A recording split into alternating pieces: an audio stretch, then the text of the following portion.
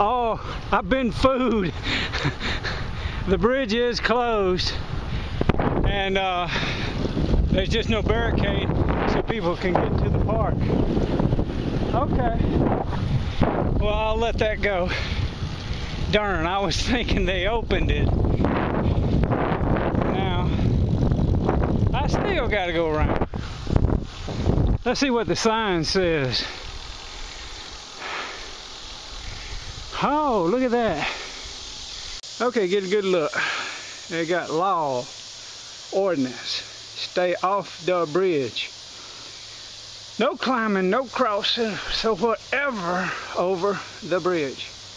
They've had this sign for a long time. This is probably the sign that was up a long time ago. I tell you what, if that water was just a little bit lower, I'd walk across it. But I ain't gonna do it because it looks like it's a little high. Okay, bridge closed. That means I gotta go to the other one lane bridge. Okay, I'm coming up on the detour for the Riverside Bridge. And it's this bridge, and I need to learn the name of this bridge. I actually don't know the name of it.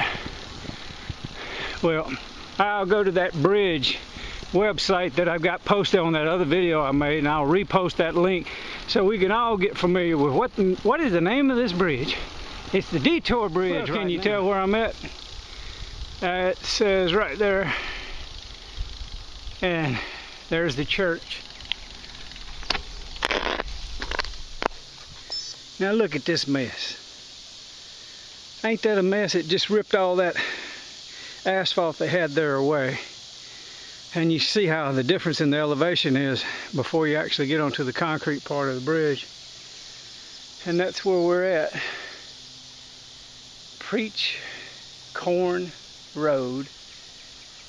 And that other word. Hmm. Samara. Or whatever. Whatever it says, that's the church right there. It's a Baptist church. Okay. Smyrna. That's Smyrna. Okay. Well, I hope they fix this mess because I've got to come this way to get to Rogersville from Ozark. This is my bypass route. And it slows me down.